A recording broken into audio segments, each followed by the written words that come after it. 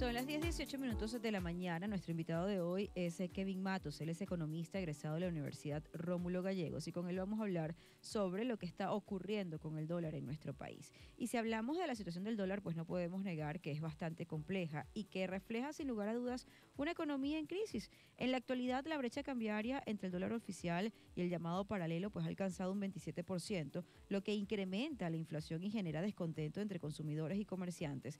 En la actualidad, el tipo de cambio oficial fijado por el Ejecutivo se mantiene en 37.60 bolívares, mientras que el mercado paralelo pues supera ya los 47.7 bolívares. Para nadie es un secreto la existencia de la dolarización informal de la economía, pues que ha llevado los precios de muchos productos a ser cotizados en dólares, lo que refleja pues una pérdida de confianza en el bolívar, a pesar de todos los intentos y de todas las intervenciones que ha hecho el Banco Central de Venezuela para estabilizar la tasa oficial. Incluso hoy leíamos, cuando hablábamos de las noticias eh, nacionales, la invitación de la Superintendencia eh, Nacional, pues de no permitir o no hacer compras en establecimientos que pretendan hacer las ventas al eh, precio paralelo.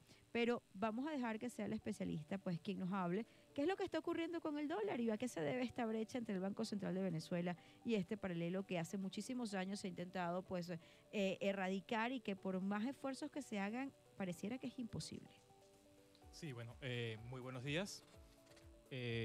Bueno, parte de lo que está ocurriendo en estos momentos con, la, dinámica eh, e-, económica del país, en parte tú acabas de mencionar una palabra muy importante que es el tema de la confianza. La economía está sustentada en la confianza y los mercados se sustentan en la confianza. Parte de lo que está ocurriendo con el mercado paralelo y con esta ampliación en la brecha que ha venido incrementando mes tras mes, cuando lo calculamos en eh, de mes a mes, eh, el cierre de cada mes, esa brecha ha, venido aumentando y se hubo un aumento muy importante, sobre todo en el mes de julio, por obvias razones. Fue un mes eh, electoral, por lo cual hubo eh, una mayor ejecución, eh, aumento en el gasto público, que por supuesto eso presionó al alza del tipo de cambio. esta brecha llegó a dos dígitos en el mes de julio, a partir del mes de julio, perdón, en el mes de mayo, porque eh, abril, mayo, junio, julio empezó un, leve incremento en el gasto público por temas electorales, pero en el mes de, julio esa brecha eh, incrementó hasta un 15%, hasta el 18% que cerró en el mes de septiembre. En lo que llevamos del mes de octubre, esa brecha inclusive eh, llegó por encima de los 25, del 25% de, de, esta cifra. Para el cierre del mes de octubre, eh, yo espero, y muchos esperamos, que cierre eh, a un 20%, y todo esto ha sido por el tema de la confianza. Estamos en un país donde la creciente incertidumbre genera, por supuesto, una distorsión en los mercados.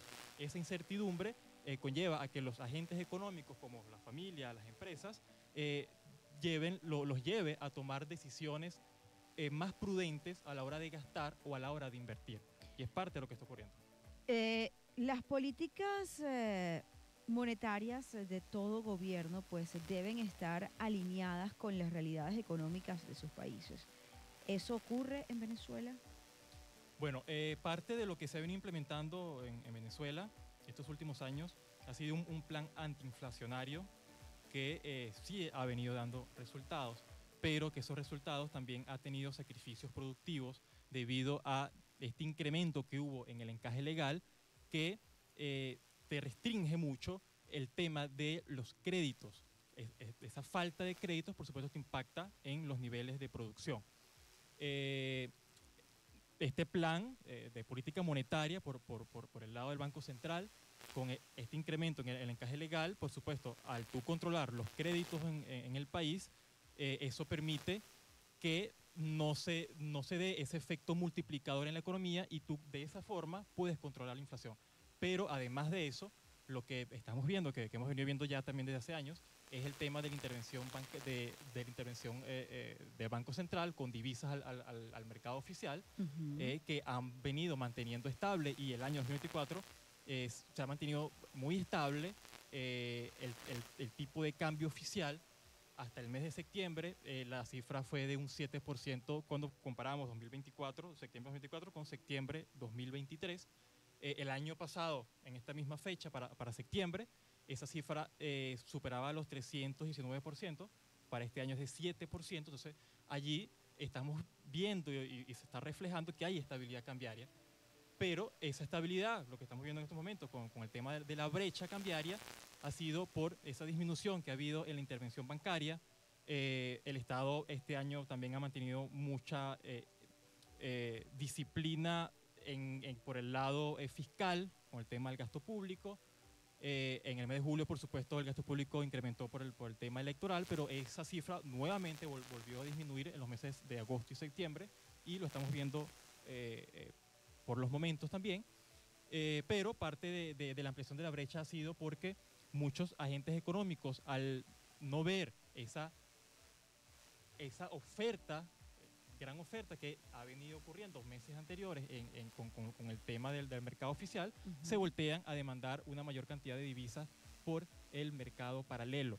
Uh -huh. Parte de eso también tenemos que tomar en cuenta el tema de que estamos en un proceso estacional, lo que son los meses de octubre, noviembre, diciembre, eh, por todo, año tras año hay un incremento en el gasto público por el pago de prestaciones sociales, aguinaldo, en, entre muchas otras cosas, eh, que por supuesto eh, hay una mayor ejecución del gasto público por parte del Estado.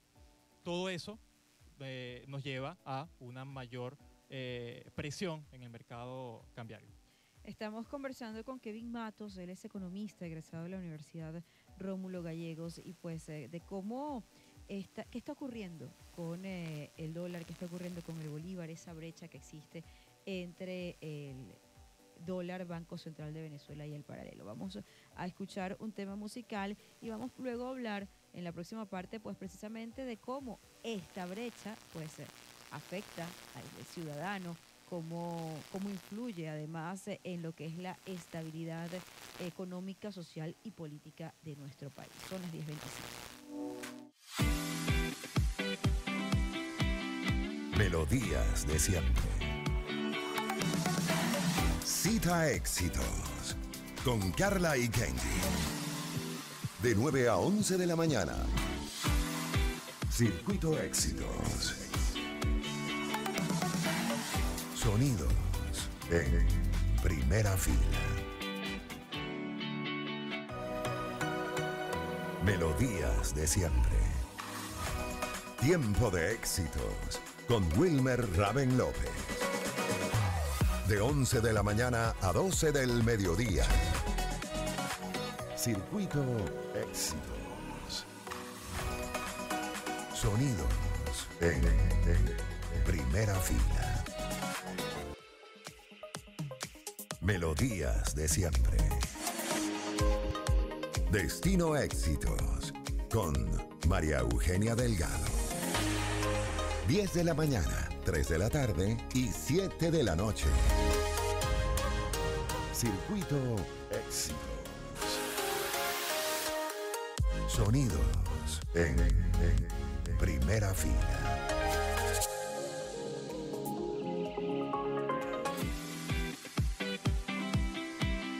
Melodías de siempre.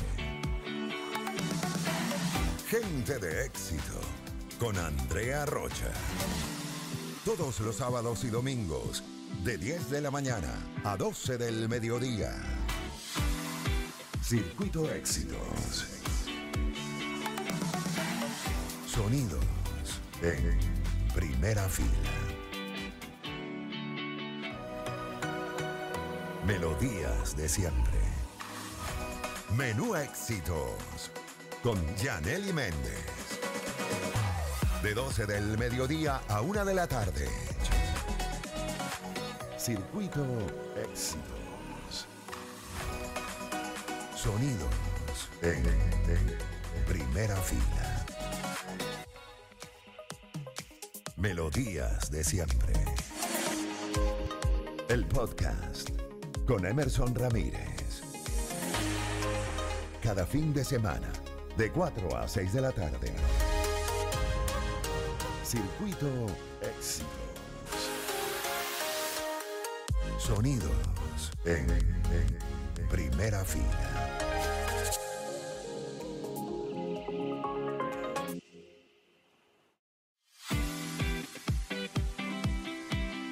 Melodías de siempre. Cita Éxitos con Carla y Kenji. De 9 a 11 de la mañana. Circuito Éxitos. Sonidos en primera fila. Melodías de siempre. Tiempo de éxitos con Wilmer Raven López. De 11 de la mañana a 12 del mediodía. Circuito Éxitos. Sonidos en, primera fila. Melodías de siempre. Destino Éxitos con María Eugenia Delgado. 10 de la mañana. Son las 10.29 minutos de la mañana. Continuamos con más de esta cita de éxitos a través de la señal de éxitos 93.1 Sonidos en primera fila. Y pues seguimos esta conversación con nuestro invitado de hoy, el economista Kevin Matos, egresado de la Universidad Rómulo Gallegos. Eh, pues ¿Cómo afecta entonces? Estamos hablando de la situación del dólar, el paralelo, el Banco Central de Venezuela, a pesar de los esfuerzos, pues hablábamos de que había este, hasta casi un 25% de diferencial habría, habría llegado, pues en el último, en los últimos meses esta, esta brecha se habría incrementado de manera considerable, sobre todo a partir del mes de julio de 2024. Este, pero ¿cómo afecta? ¿Cómo afecta esto al ciudadano, a las personas que nos están escuchando a través de la señal de éxitos? ¿Cómo afecta la economía de nuestro país? ¿Cómo afecta desde el punto de vista social y desde el punto de vista político? Sí, bueno, eh, este tema de, del, del, incremento en, en, la brecha cambiaria, eh, ¿de qué manera afecta a los agentes económicos? Eh, bueno, parte de, de, la, de la distorsión en el mercado, que ya estábamos hablando en el primer segmento, eh, sobre el tema de que al demandar divisas por el mercado oficial, al no conseguirlos, ellos automáticamente tienen que voltearse al mercado paralelo a demandar una mayor cantidad de divisas. Uh -huh.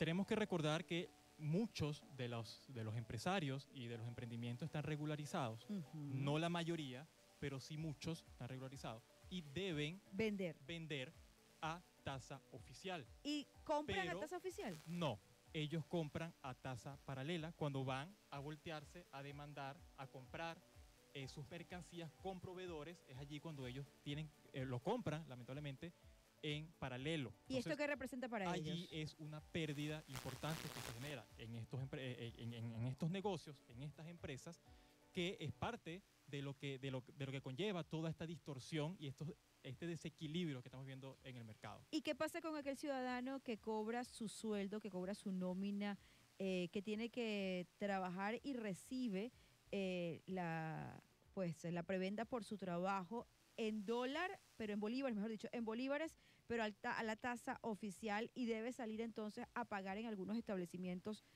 a paralelo? Bueno, eh, lamentablemente eh, el tema de los salarios en Venezuela, a pesar que han venido aumentando, cuando, cuando hablamos sector privado, sobre todo, uh -huh. eh, el tema de los salarios ha, se ha venido ajustando al nivel de inflación y a la variación cambiaria.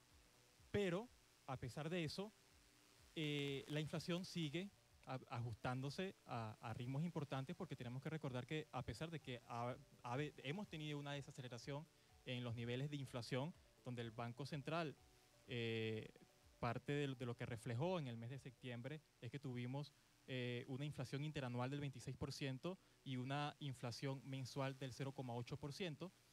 Eh, nos está eh, básicamente indicando de que sí hay una desaceleración de la inflación, pero la inflación sigue estando en un nivel muy alto. Cuando hablamos de desaceleración, no es que, el, que la inflación está cayendo, sino que está aumentando, sigue creciendo, pero a un nivel mucho más bajo. Entonces, eso, cuando lo contrastamos con, con, el tema de salarios, vemos cómo el tema de los salarios se, se, encuentra en una posición muy rezagada en comparación con el nivel de inflación en el país. Ahora, también es una especie de catalizador para lo que es la situación eh, eh, o el ambiente en, en, desde el punto de vista social, porque esto crea tensión entre consumidor, eh, entre el usuario y los comerciantes, pero también aumenta esa desconfianza, lo que pues debilita mucho más el sistema y no solo dentro de nuestra frontera, sino cuál es la cara que se refleja ante los posibles inversionistas internacionales. Sí, bueno, eh, como ya lo habían mencionado, el tema de la confianza es fundamental y el tema de la incertidumbre, eso eh, hasta el momento yo no lo veo. Si hay un informe, la UCA publicó un informe sobre eh, el tema de que el 2025 puede ser un año que, Venezuela entre en un proceso de recesión. Yo aún no lo veo. Tendría que esperar el cierre de, este año 2024 para ver más, eh, para ver esa gráfica completa realmente y, ver con un poco más claridad, dependiendo también a lo que pase en, en el entorno político del país, porque eso es parte de lo que, de lo que eh, es la causa de la incertidumbre eh, en el país, que debido a la incertidumbre eso ha generado que muchos agentes económicos sean más prudentes a la hora de gastar, a la hora de invertir. Entonces muchos están esperando al año 2025 para tomar decisiones.